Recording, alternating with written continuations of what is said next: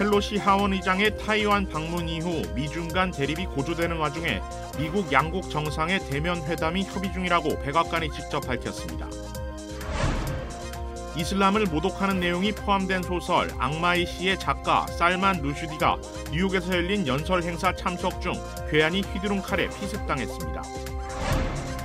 코로나 지역 91번 프리웨이 선상에서 경비행기가 추락해 화염에 휩싸이는 사고가 발생했습니다.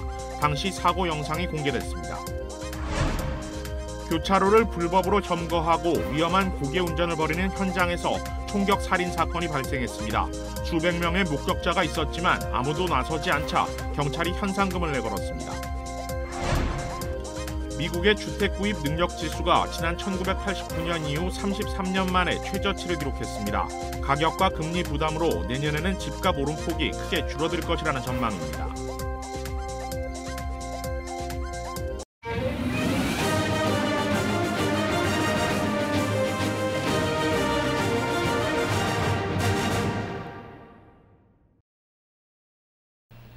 여러분 안녕하십니까? KBS 아메리카 뉴스입니다.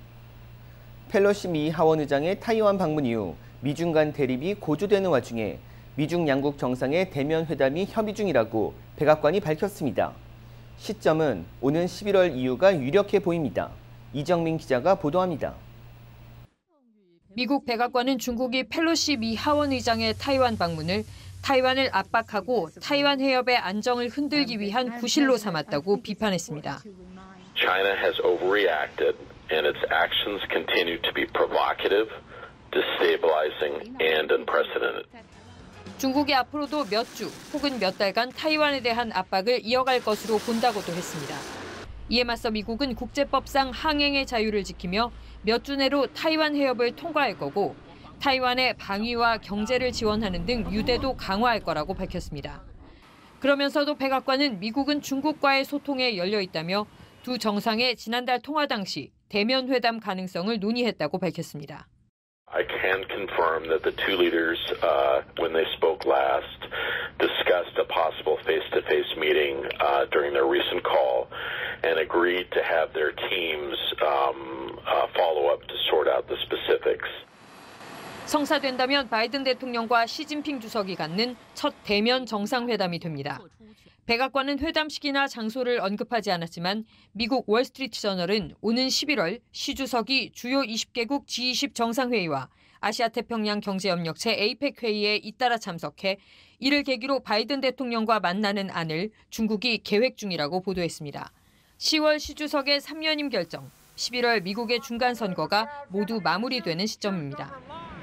타이완을 둘러싸고 대립 수위를 높이고는 있지만 결정적 충돌은 원치 않는 양 정상의 의도가 반영됐다는 평가입니다. 워싱턴에서 KBS 뉴스 이정민입니다. 바이든 행정부가 첨단 반도체와 가스터빈 엔진을 생산하는 데 필요한 네 가지 기술에 대해 수출 통제를 부과한다고 밝혔습니다. 상무부 산업안보국은 반도체와 가스터빈 엔진이 더 빠르고 효과적이며 혹독한 환경에서 작동하도록 하는 기술은 상업용이나 군사용에서 게임 체인저가 될 수 있다면서 수출 통제 부과 배경을 설명했습니다. 수출 통제 대상은 광대역 밴드캡 반도체 생산에 필요한 두 가지 기본 물질과 첨단 직접 회로를 제작하는 데 사용되는 설계 소프트웨어, 그리고 로켓이나 극초음속 시스템에 적용되는 연소 방식 관련 기술입니다. 이번 수출 통제는 미국이 전략적 경쟁자로 규정한 중국의 반도체 기술 발전 등을 억제하려는 움직임과 무관치 않다는 해석을 낳고 있습니다. 이슬람을 모독하는 내용이 포함된 소설 악마의 시의 작가 살만 루슈디가 괴한이 휘두른 칼에 피습당하는 사건이 발생했습니다. 박시몬 기자가 보도합니다. 20세기 최대 필화를 일으켰던 책 악마의 시를 펴낸 75세 인도 출신의 영국 작가 살만 루슈디가 오늘 뉴욕주 서부에 위치한 셔터커 카운티에서 문학 관련 연설을 하려던 중 연단 위로 올라온 한 남성이 휘두른 흉기에 피습당했습니다. 외신에 따르면 이날 루슈디는 뉴욕주 서부 오데오 연안이 있는 셔터커 연구소에서 강연을 하려고 무대에 오르고 있었습니다.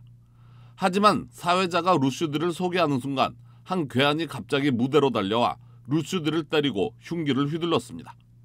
이 때문에 루슈디는 단상에서 떨어져 쓰러졌으며 목 부위에 칼로 찔린 것처럼 보이는 상처를 발견해 헬기로 병원에 이송됐다고 현지 경찰이 밝혔습니다. 경찰은 루슈디를 공격한 용의자를 체포했다고 부연했으며 신상이나 범행 동기에 대해서는 자세히 밝히지 않았습니다. 루슈디는 1988년 소설 악마의 시를 출간했다가 전 세계 이슬람계로부터 항의와 협박을 받아왔습니다. 최근 두 인도인이 비행기 테러 사고를 겪은 뒤 각자 천사와 악마의 영향을 받게 돼 전혀 다른 삶을 살게 된다는 내용인데 내용 중 이슬람 예언자 모하메드를 부정적으로 묘사하고 모하메드가 이슬람 경전인 코란의 일부분을 악마로부터 계시받았었다고 표현하는 등 신성 모독으로 여겨지는 부분이 포함돼 이슬람권의 반발을 산 것입니다. 출간 당시 이란의 최고 지도자 아야톨라 호메이니는 루슈디에게 사형 선고를 내렸고 루슈디의 암살에 100만 달러의 현상금을 걸었습니다. 때문에 그는 10년 넘게 피신하는 신세가 되기도 했습니다. 10년이 지난 1998년 무함마드 하타미 당시 이란 대통령이 루슈디에 대한 위협이 끝났다고 밝혔지만 그 이후인 2012년 이란의 한 반관영 종교재단은 루슈디에 대해 330만 달러의 현상금을 내걸기도 했습니다. KBS 뉴스 박시몬입니다. 올해 뉴욕시에서 발생한 흉기 피습 사건이 지난해보다 약 300건 늘어난 것으로 나타났습니다. 제휴사 뉴욕 KBTV 전상희 기자입니다.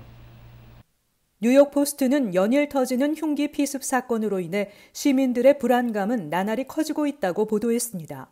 최근 한 여론조사에 따르면 나 또한 폭력 범죄의 피해자가 될 수 있다고 생각하는 뉴욕 시민이 전체의 76%를 차지하는 것으로 나타났습니다.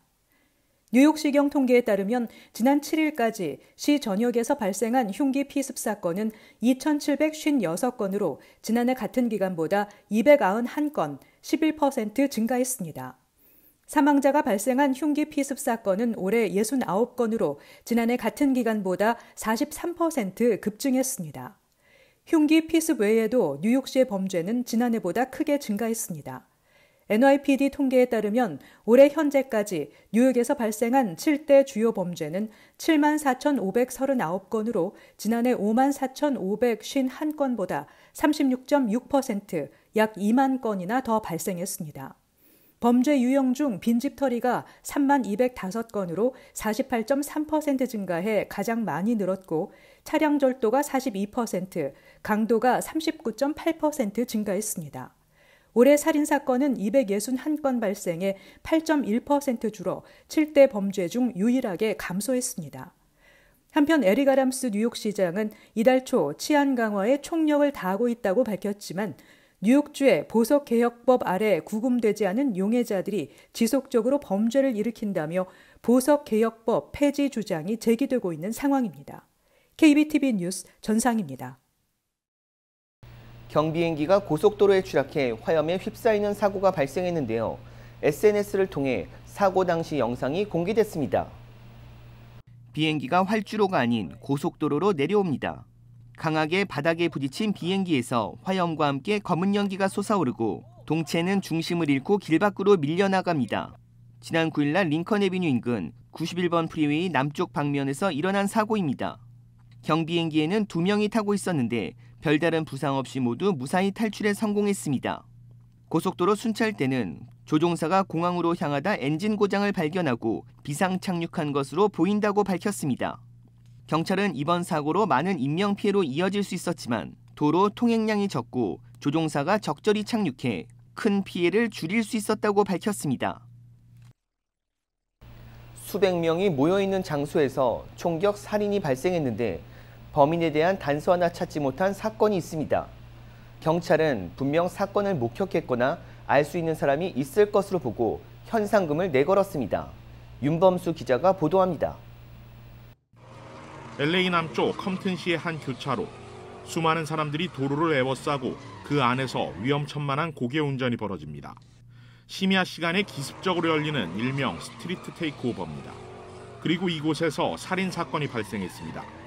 두 명의 젊은 남성이 차 안에서 여러 발의 총격을 받고 숨진 채 발견됐습니다. 초기 사건 해결을 자신했던 경찰은 그러나 사건 발생 9개월이 다 되도록 제대로 된 단서를 찾지 못했고 목격자를 찾는데도 실패했습니다. The, the video we have uh, of the area is very poor quality and has not assisted investigators in any way. We know there was two, 300 witnesses there. None of them have come forward at this point. 경찰은 당시 현장에 있었던 사람들 가운데 분명 총격을 목격했거나 용의자와 관련한 정보를 아는 사람이 있을 것으로 확신하고 있습니다. 불법 점거 행사에 모이는 사람들의 특성상 갱단과 관련 있을 가능성도 배제하지 않고 있습니다. Homicide investigators are asking for the public's help for information that may lead to the identification of the persons responsible for this murder. A $20,000 reward has been set for this information. 이번 사건을 계기로 불법 street takeover에 대한 우려의 목소리도 커지고 있습니다. 대부분 소셜 미디어를 통해 장소와 시간을 기습적으로 공지하는데 팬데믹이었던 최근 2년 사이 급속히 늘어났고 장소도 주로 사우스베이 지역에서 할리우드, 컬버시티 등으로까지 확대되고 있습니다. 술과 마약, 광란의 분위기 속에 치러지다 보니 각종 범죄와 사고가 끊이질 않고 있어 경찰도 대책 마련에 고심하고 있습니다. KBS 뉴스 윤범수입니다. 미국에서 집을 사기가 33년 만에 가장 어려워진 것으로 나타났습니다. 부동산 중개인협회가 주택 가격과 가구당 소득, 모기지 금리 등을 반영해 산정한 주택 구입 능력 지수는 올 6월 98.5로 나타나 지난 1989년 이후 33년 만에 최저치를 기록했습니다. 이처럼 집을 사기 어려워진 것은 집값이 사상 최고로 치솟은 데다 모기지 금리까지 올랐기 때문입니다. 지난 6월 미국 단독주택 중위 가격은 42만 2,300달러로 중위 가격이 40만 달러를 넘은 것은 올해가 처음입니다. 또 올해 초 3% 초반이었던 모기지 금리는 6월에는 5.6%까지 올랐습니다. 가격과 금리의 이중 부담으로 수요가 줄면서 전문가들은 내년에는 집값 오름폭이 크게 줄어들 것으로 보고 있습니다. 오늘 뉴욕주와 뉴욕시 각 카운티에서 조사한 폐수 샘플 조사 결과 소아마비 바이러스가 검출됐다고 공동 발표했습니다. 소아마비 바이러스는 전파력이 강하고 치료제도 없어 우려가 커지고 있습니다. 제휴사 뉴욕 KBTV 김은지 기자입니다. 뉴욕 일원 하수 및 폐수에서 치료제가 없는 것으로 알려진 소아마비 바이러스가 잇따라 검출되면서 보건당국에 빨간불이 켜졌습니다. 오늘 뉴욕주와 시 보건당국은 뉴욕시 일부 지역에서 채취한 폐수에서 소아마비 바이러스가 검출됐다고 공동 발표했습니다. 두 보건국의 발표는 해당 바이러스의 지역 감염 확산 가능성을 시사한다고 밝혔습니다. 지난 6월 뉴욕주 라클랜드 카운티 거주자에게서 양성 사례가 확인된 이후 보건당국은 주 전역 폐수 샘플 테스트를 시작했습니다. 그 결과 지난 6월과 7월 채취된 오렌지 카운티의 하수 샘플에서도 바이러스가 검출됐고 오늘 뉴욕시에서도 잇따라 발견된 것입니다. 메리 바셋 뉴욕주 보건국장은 소아마비 바이러스 감염이 한 건씩 확인될 때마다 수백 명이 더 발견될 수 있다고 말했습니다.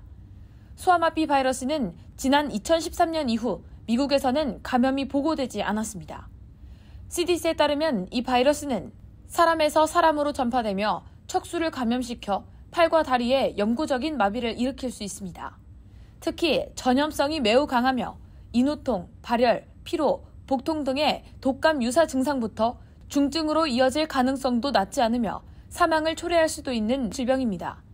증상이 나타나기까지 최대 30일이 소요될 수 있으며 이 기간 동안에도 전염이 가능합니다. 현재까지 알려진 소아마비의 치료제는 없습니다. 백신 접종이 유일한 예방책인 셈입니다. 현재 CDC의 지침에 따라 모든 취약 연령 아동에게는 소아마비 바이러스 백신 접종이 요구되고 있습니다. 특히 보건부는 바이러스가 검출된 지역은 물론 주 저녁 모든 생후 2개월 이상 어린이와 임신부, 소아마비 백신 접종을 받지 않은 사람은 누구나 바로 접종을 해야 한다고 거듭 강조했습니다. KBTV 뉴스 김은지입니다. 연방수사국 FBI가 실시한 트럼프 전 대통령 자택 압수수색 후폭풍이 거세지고 있습니다. 핵무기 관련 내용 등 기밀 문건이 포함됐는지를 놓고 법무부와 공화당의 팽팽한 대립이 이어지고 있습니다. 김기현 기자가 보도합니다. 미 연방수사국 FBI는 현지 시각 8일 트럼프 전 대통령의 플로리다 자택에 대한 압수수색을 실시했습니다. 기밀이 포함된 다수 자료를 미 국가기록원에 반환하지 않았기 때문입니다. 실제 미국 언론들은 압수 대상 품목에 핵무기 관련 사안이 포함됐다거나 FBI가 11건의 기밀 문서를 확보했다는 보도를 잇따라 내놓고 있습니다. 미 법무부 장관 역시 압수수색이 상당한 근거에 기반했다며 강제 수사 개시는 심사숙고 끝에 내려진 결정이라고 밝혔습니다. First, I personally approved the decision to seek a search warrant in this matter. Second, the department does not take such a decision lightly. 이에 대해 트럼프 전 대통령은 자신이 만든 사회관계망 트루스 소셜에 올린 글을 통해 핵무기 관련 내용은 날조라고 반박했습니다. 동시에 FBI가 압수수색 과정에서 변호사 입회도 거부했다며 일각의 증거 조작 음모론까지 거들고 나섰습니다. 야당인 공화당 역시 유력한 차기 대선 주자인 트럼프 전 대통령을 겨냥한 정치 수사라며 바이든 정부가 법무부와 FBI를 공격 수단으로 삼았다고 비난했습니다. President Donald Trump is Joe Biden's most likeliest political opponent in 2024, and this is less than 100 days from critical midterm elections. 전직 대통령에 대한 유례 없는 강제 수사가 석 달 앞으로 다가온 미국 중간 선거의 중요 쟁점으로 떠오르고 있습니다. 워싱턴에서 KBS 뉴스 김기현입니다. 팬데믹 기간 동안 외출이 줄면서 자칫 위축될 수 있는 아이들을 위해 정관장 주최 KYCC 후원 제1회 어린이 미술대회 시상식이 오늘 열렸습니다. 가족과 함께 외출해 즐거운 시간을 보내고 있는 모습이 담긴 그림들. 코로나19로 마음껏 뛰어놀지 못했던 어린이들의 소망이 담겨 있습니다. 제1회 정관장 홍의장 군배 어린이 미술대회에는 전국에서 초등학생 120여 명이 참가했고 이 가운데 20명이 선발돼 오늘 시상했습니다. 그림을 그리는 게 어, 아이들이 이렇게 스트레스를 풀고 또 꿈을 꾸고 또 다채로운 색깔을 쓰고 그런 활동들이 아이한테 참 좋겠다는 생각이 들었어요. 그리고 가장 대중적으로 그림은 누구나 다 그리는 거니까. 정 관장은 오늘 미술대회 상금과 어린이들의 면역력 향상을 위한 상품 등 3만 달러를 지원했습니다. 팬데믹 기간 의료진과 경찰을 위한 후원을 해온 정관장은 오늘 시상에 이어 다음 달엔 화재와 산불 등으로 고생하고 있는 소방관들을 위한 행사를 열 계획입니다. 이번 주 증시와 다음 주 시장 흐름을 분석해보는 주간 증시 브리핑 시간 김재환 아티스트 대표 나오셨습니다. 안녕하세요. 네, 안녕하십니까. 네, 7월 CPI 지수가 발표된 이후 증시가 굉장히 급반등하고 있는데 이번 주 어떻게 보셨습니까? 음, 일단 이번 주는 이제 지난주 달랑 42포인트 차이로 유일하게 하락한 주로 기록했던 다우존스까지 3대 지수 모두 상승한 주로 기록했습니다. 특히 이제 네스닥과 S&P 500 같은 경우는 4주 연속 상승한 주로 기록했다는 얘기죠. 이 정도까지 된 거가 작년 11월 이후, 그러니까 정확히 말하면은 9개월 만에 처음 4주 연속 이제 올라간 거니까 반등이 이제 그만큼 탄탄해지고 있다는 거를 뭐 암시하고 있다고 볼 수 있는 거죠. 음, 이번 주 보니까 장 초반에는 아침에는 증시가 굉장히 오르다가 또 마감될 때는 굉장히 많이 떨어지는 그런 것도 봤거든요. 그러니까 사실 심리적으로 지금 많이 요동치고 있다 이렇게도 볼 수 있을 것 같은데 어떻게 보세요? 음, 이제 요동침이 이제 그 전에 비해서는 상당히 많이 줄어들었습니다. 솔직히 이제 그저께 같은 경우도 이제 어제는 아침에 강세로 랠리 모드 시작했다가 중간에 다시 또 꺾였다가 왔다 갔다 하면서 이제 혼조세로 이제 예를 들어서 끝났는데 지금 최근 들어서 오늘 같은 경우는 아침에 랠리 모드를 시작해서 끝날 때는 더욱 탄력받아서 끝났습니다. 예전에는 장이 조금만 반등할 때마다 panic selling이 들어왔습니다. 일단은 또 떨어질 거 우려해서. 근데 지금은 장이 조금이라도 떨어지거나 지지부진할 때는 panic buying이 들어오겠다는 얘기죠. 그러니까 나만 빼고 장이 오를 것을 조바심 내는 심리가 상당히 많이 작용하고 있다고 볼 수 있는 겁니다. 그것만 보더라도 벌써 최근 한 달, 두 달 전하고 지금하고는 상태가 많이 바뀌었다고 보는 겁니다. 지금 증시 가 좀 그래도 랠리 모드를 가고 있는 게 어떻게 따지면 물가가 어느 정도 잡혀가는 거 아니냐라는 이런 기대 심리일 것 같은데 이 부분은 좀 어떻게 보십니까? 음, 그렇죠. 이번 같은 경우도 어떻게 보면은 이번 주에 이제 월요일 같은 경우는 이제 엔비디아하고 또 다음 날 같은 경우는 이제 뭐 마이크론 테크놀로지 같은 경우도 뭐 revenue 실적 경고를 했습니다. 결과적으로 이제 예상보다 좀 못 나올 것 같다. 이제 그러면서 분위기가 상당히 위축됐었는데 결과적으로 수요일 날 CPI, 그다음에 목요일 날 PPI가 나오면서 분위기가 완전히 또 급반전됐다는 얘기죠. 그러니까 그만큼 CPI, PPI가 이제 보여주는 것은 이제 정점을 인플레이션 정점을 찍었다는 기대감 속에서 그렇게 따지고 보면 다음 달 이제 금리 인상이 뭐 0.75%가 아닌 예를 들어 0.5%로 끝날 수 있지 않을까. 근데 이런 기대감 속에서 사람들은 자꾸 자꾸 이제 매수세 증가로 이어지는 거죠. 그렇다면 지금 사실 어떻게 보면 지금 증시가 좀 어느 정도 올라가고 있는 분위기긴 한데 바닥을 찍었느냐 이게 사실 사람들이 제일 궁금해하는 부분이기도 하거든요. 음, 어떻게? 그렇죠. 그게 가장 궁금해하는 질문이고 모든 전문가들, 비전문가들도 마찬가지로 거기에 몰두하고 있는 거지만 지금은 최근 들어서는 이제 바닥을 찍었다는 거 보는 경제학자들 뭐 예를 들어 차트, 뭐 테크니션들부터 시작해서 이런 사람들이 상당히 많이 좀 많아졌습니다. 그 전에 비해서는 그 전에 11월 달에 올랐어도 바닥을 찍었다는 설이 분명히 나왔지만 결과적으로는 아니었었습니다. 그런데 지금은 4주 동안에 이게 올라간 거가 배열 말표 관리로 끝나느냐를 아직까지 우려하고 있는 사람들은 분명히 있습니다. 한 캠프는 그렇고 다른 캠프 쪽에서는 오케이 바닥을 이미 찍었다 6월 중순에 이제 그렇지만 결과적으로 봤을 때는 이게 조금 더 유지가 되고 아마 9월 달 금리 인상 전까지는 크게 요동친다는 것보다도 분위기는 이런 식으로 좀 갈, 뭐 가능성이 좀 더 높다고 볼 수 있는 거죠. 한마디로 뭐냐 상승세가 이어질 가능성이 좀 높다고 보는 겁니다. 다음 주 증시 좀 분위기나 아니면 지표 같은 거 있다면 좀 어떤 걸 주목해야 할까요? 음, 다음 주는 이제 뭐 주택 착공, building permit, 기존 주택 판매 이런 것들이 나오지만 소매 판매 지수가 나옵니다. 그러니까 그만큼 사람들이 spending을 계속 하고 있느냐. 그러니까 소매 판매 지수가 나오는 거고 또 FOMC 회의록이 나오기 때문에 지난번 미팅에서 어떤 얘기들이 오가고 있었다는 것 따라서 어떻게 보면 좀 뒤늦게 발표되는 거지만 그거에 따라서도 투자 심리는 또 요동칠 수 있는 것 중에 하나입니다. 그리고 또 이제 다음 주 같은 경우는 이제 소매 유통업체들, 뭐 월마트나 이를 타겟 뭐 홈디포 아니면 또 시스코 같은 경우도 이제 실적 발표가 있는 거고요. 그러니까 지금 실적 발표는 거의 마무리 단계에 와 있다고 볼 수 있는 거죠. 매파적 발언들도 좀 약간 수그러들고 있는 분위기인데 좀 그 부분은 좀 어떻게 보세요? 음, 그렇죠. 매파적 발언들이 지난주, 2주 전에도 그런 지수들이 많이 나왔었잖아요. 그럼 사람들이 좀 이제 투자 심리가 위축됐다가 풀렸다가 위축됐다 풀렸다 했는데 이번 주는 어떻게 보면은 그럼에도 불구하고 장이 딱 하루 떨어졌습니다. 그러니까 이틀을 엇갈리고 이틀 오르고 하루 떨어졌으니까 분위기 반전에 성공했다고 볼 수 있는 거죠. 오늘 말씀 감사합니다. 네, 감사합니다.